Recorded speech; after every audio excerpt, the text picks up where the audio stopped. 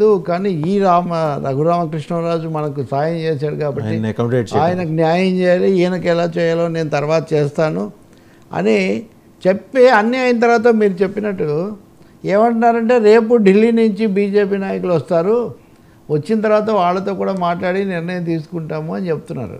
అసలు పొత్తులు అంటూ ఉంటాయి కానీ రాజకీయ పార్టీలు ఇంకొకరి కోసం వాళ్ళ నాయకులు రావాలని ఎదురు చుట్టం అది ఇది ఏంటో ఇది ఎన్డీఏలోనే ఇప్పుడు ఫస్ట్ టైం మనం ఇటువంటివి చూస్తున్నాము. ఇంకా రెండవది వరుసగా ఇప్పుడు వర్మ అనే అక్కడ పిఠాపురంలో ఆయనది పోతే ఇంకో చోట దుర్గేష్ అటువైపున పోతే అనపర్తి. కృష్ణారెడ్డి పోతే ఇప్పుడు మళ్ళీ ఇక్కడ కూడా ఉండిలో అసలు ఉన్న ఆయన సిట్టింగ్ ఆయన మారిస్తే కూడా ఎలా కుదురుతుంది అనేది కూడా ఒక పెద్ద ప్రశ్న. అందుకని సర్దుబాటు చేయడానికి చాలా తంటాలు పడుతున్నారు అనేది అర్థమవుతుంది. అది అయిన తర్వాత ఇంకా మీటింగు ఆ మీటింగ్లో ఏం చెప్తారు? ఇంకా మళ్ళీ ఇప్పుడు ఇక్కడ ఏం తేలదని నా- ఆయనే చెప్తున్నారు నా ఇక్కడ అర్థం కాదు అంటే రేపు బి- ఢిల్లీ నుంచి బీజేపీ వాళ్ళు వస్తారు వాళ్ళతో మాట్లాడతాను. అంటే అప్పటికప్పుడు ప్ర అప్పటికి వాళ్ళని సర్ది పక్కనే పంపించడం కోసమా? లేకపోతే నిజంగా బీజేపీ వాళ్ళతో మాట్లాడే ఏదైనా చేస్తాడా? నిజంగా వాళ్ళ అంటే వాళ్ళ దగ్గర ఏమైనా హామీ తీసుకోనో లేకపోతే వాళ్ళని కూడా కన్విన్స్ చేసో చేయాలని కావచ్చు. ఇంకొకటి ఇక్కడ పెద్ద సమస్య ఉంది. బీజేపీ ఎందుకు టికెట్ ఇవ్వలేదు? రాజుకు. చాలా కీలకమైన ప్రశ్న ఎందుకు ఇవ్వలేదు? మాట్లాడితే నాకు అమిత్ షా తెలుసు అది ఇది అని నిజంగానే వాళ్ళతో డిన్నర్లు అన్నిటికీ వెళ్ళేవాళ్ళు మాట్లాడేవాళ్ళు కదా. స్పీకర్ అంటే బాగా- జగన్కు ఇష్టం లేదు కాబట్టి బీజేపీ వాళ్ళకు ఇష్టం లేదు. అంతకంటే ఏం లేదు.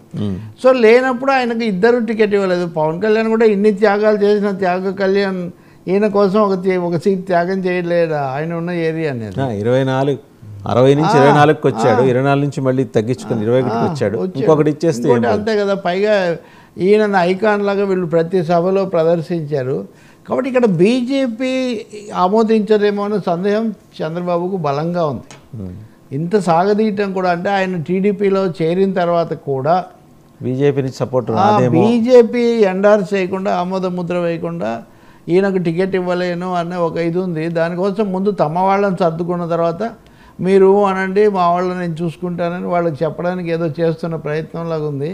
ఇది ఏదో మామూలు పల్లెటూళ్ళలో పంచాయతీ వ్యవహారం లాగా గట్టి ఉంది తప్ప పంచాయతీలాగా సీరియస్ రాజకీయ పార్టీలు చేస్తున్నటువంటి చంద్రబాబు గారు నాయుడు స్టేచర్కి తగ్గ వ్యవహారం అయితే ఆయన నడపట్లేదు అదే అది ఎంత మాత్రం లేదు. ఇప్పుడు మీరు పవన్ కళ్యాణ్ గ్లామర్ ఆయన స్టార్డమ్ను మీరు దృష్టిలో పెట్టుకొని చూసినా బీజేపీ ఏమో జాతీయ పార్టీ రెండుసార్లు గెలిచి హ్యాట్రిక్ హ్యాట్రిక్ అంటున్న వాళ్ళకు ఉన్న దాన్ని బట్టి చూసినా ఇదంతా ఏదో ఆపద్ధర్మంగా అనామత్ వ్యవహారంలాగా నడిపిస్తున్నారు తప్ప ఎప్పటికప్పుడు. అనామత్ అనేది అచ్చు కుదినట్టు సరిపోయేలాగా. అనామత్ అనేది సరిపోతుంది అంతే.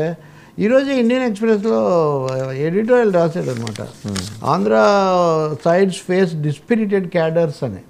డిస్పిరిటెడ్ క్యాడర్స్ అంటే ఈ కార్యకర్తలు లేదా కింది శ్రేణి వాళ్ళల్లో స్ఫూర్తి పూర్తి వాళ్ళు ఉత్సాహం పోయి నిరుత్సాహానికి గురయ్యారని. కారణాలు చెప్తున్నాడు అందులో ముఖ్యమైన కారణం ఇది.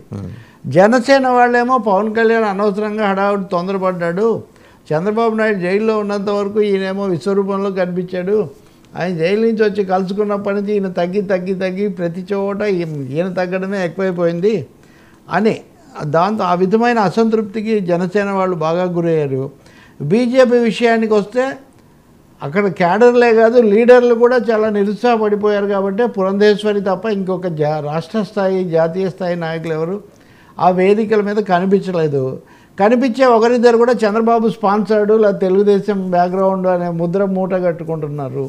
సో ఇలా చూస్తే మూడు పార్టీలు కూడా ఎవరికి పెద్ద ఉత్సాహం లేనటువంటి వ్యవహారంలాగా ఇది నడుస్తుంది. డిస్పిరిటెడ్ మీరు ఇంగ్లీష్ జర్నలిస్ట్ కదా డీసీలో కాబట్టి అదే అదే ఒక పరిస్థితిని సూచిస్తుంది. యా అంటే అటువంటి నిస్పృహకి లోనైన Yeah. కార్యకర్తలు లోనైన వాతావరణం మొరల్లెస్ ప్రతి పార్టీలో ఉంది. మ్మ్. జనసేన కావచ్చు అటు జగన్మోహన్ రెడ్డి గారి పార్టీ అంటే ఆయన డైరెక్ట్గా ప్రజలతో అనుసంధానంలోకి వెళ్ళిపోయారు. మ్మ్. ఎమ్మెల్యేలు second rung leaders third rung leaders వీళ్ళందరూ కూడా అట్లాంటి నిస్పృహ. తెలుగుదేశం చూస్తే ఆయన పవర్లో ఉన్నప్పుడు అసలు కార్యకర్తలు ఎక్కడ ఉంటారో ఆయనకు తెలియదు అవును. పవర్ లేనప్పుడు మాత్రం నేను మారాను అనుకుంటూ వచ్చేస్తాను మళ్ళీ ఆఫీస్కి.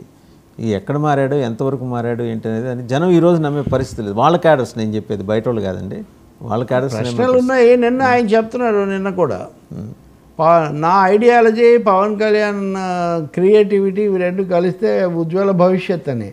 ఏంటి అసలు చంద్రబాబు ఐడియాలజీ ఇప్పుడు సోము వీర్రాజుకి ఒక ఐడియాలజీ ఉంది అమిత్ షాకి ఉంది నరేంద్ర మోదీకి ఉంది. లేకపోతే ఇంతకు ముందు ఉన్న వాళ్ళు ఎవరికో ఉంది. ఎప్పటి నుంచో ఉన్న వాళ్ళు ఉంటారు. ఒక బండారు దత్తాత్రేయ ఉంటాడు. ఆయన బీజేపీ ఐడియాలజీ నమ్ముకొని ఉంటాడు ఉదాహరణకు.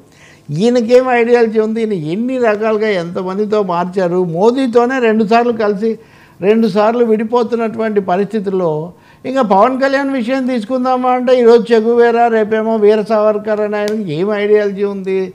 లేని దాని గురించి వీళ్ళు ఏం చెప్పుకుంటున్నారు? క్రియేటివిటీ ఏంటి? ఇంకో తమాషా. ఆయన ఏమంటున్నాడు నా ఐడియాలజీ పవన్ కళ్యాణ్ క్రియేటివిటీ అంటుంటే పవన్ కళ్యాణ్ ఏం చేయాలో చంద్రబాబు చెప్తాడు.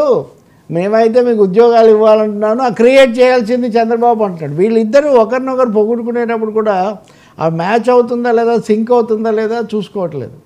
ఇంకా వీళ్ళని పొగుడుకోవడం చాలదని మళ్ళీ చిరంజీవి స్కిల్ డెవలప్మెంట్ అంటే ఉదాహరణ అంట. పవన్ కళ్యాణ్ చిరంజీవి గారు నటుడుగా ఆయనకు శిక్షణ ఇప్పించడమాట.